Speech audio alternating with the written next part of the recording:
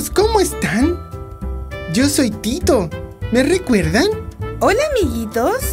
Estamos con mi amiga y vecina Lola. Estamos jugando en nuestro rato libre. Ya terminamos las tareas. ¿Te parece, Tito, si armamos un puzzle? ¿Un puzzle? ¿Qué es eso, Lola? Los puzzles, también llamados rompecabezas, son juegos muy ingeniosos, con muchos colores.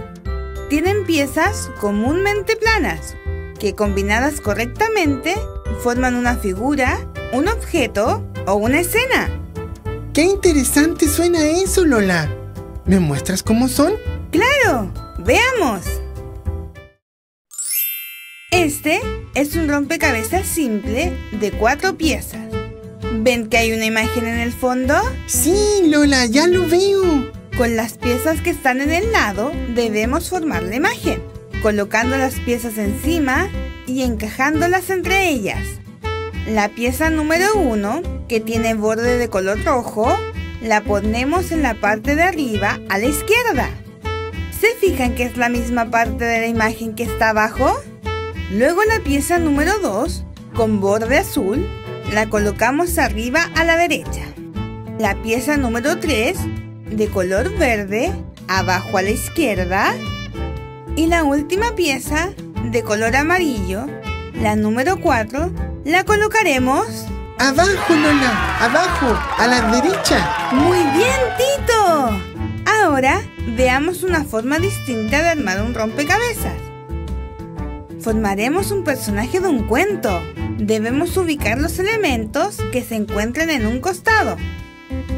Miremos bien para no equivocarnos. Y si lo hacemos, no hay problema. Podemos volver a continuar y empezar de nuevo. Miremos la imagen que debemos formar. ¡Qué lindo! Me gusta, Lola. Comencemos, comencemos. Partamos de abajo para arriba. Primero los pies y las piernas. ¿Dónde van los pies y las piernas? ¡Abajo! ¡Abajo! ¡Muy bien! Continuemos con la cabeza. ¿Dónde va la pieza de la cabeza? ¡Arriba, Lola! ¡Arriba! ¡Excelente! Y finalmente, la pieza del cuerpo. ¿Dónde irá la pieza del cuerpo? En medio de la cabeza y los pies. ¡Oh, qué lindo personaje! ¿Quién será? Bueno, les presento al flautista de Hamelin. ¿Y saben? Tiene un cuento propio. ¿En serio, Lola? ¿Por qué no escuchamos y vemos el cuento?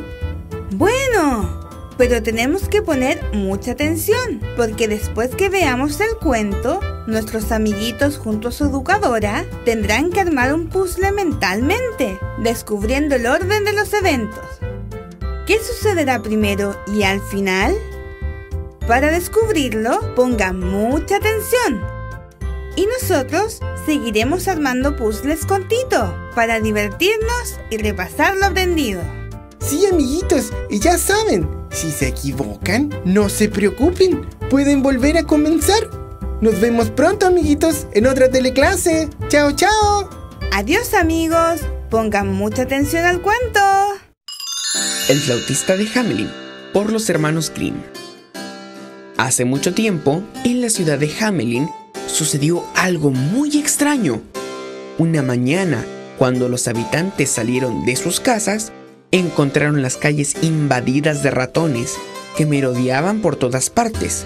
Nadie acertaba a comprender la causa de tal invasión. Y lo que era peor, nadie sabía qué hacer para acabar con tan inquietante plaga. Ante un hecho de tal gravedad, los habitantes fueron a ver al rey, el cual ofreció una recompensa de 100 monedas de oro para quien eliminase la plaga de ratones.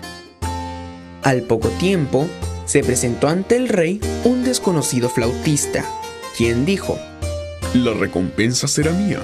Esta noche no quedará ni un solo ratón en Hamelin. Dicho esto, comenzó a pasear por las calles y, mientras tocaba con su flauta en la maravillosa melodía que encantaba a los ratones, estos, saliendo de sus escondrijos, seguían embelesados los pasos del flautista. Así, caminando y tocando, los llevó a un lugar muy lejano, por donde pasaba un río que, al intentar cruzarlo para seguir al flautista, todos los ratones perecieron ahogados. El flautista se presentó ante el rey y reclamó la recompensa, pero este se la negó y lo expulsó del pueblo. Como castigo, el flautista tocó nuevamente su flauta y se llevó a todos los niños del pueblo, al igual que lo había hecho con los ratones. Entonces, el pueblo obligó al rey a pagar el dinero de la recompensa, y los niños volvieron al pueblo con sus padres, y todos fueron felices por siempre.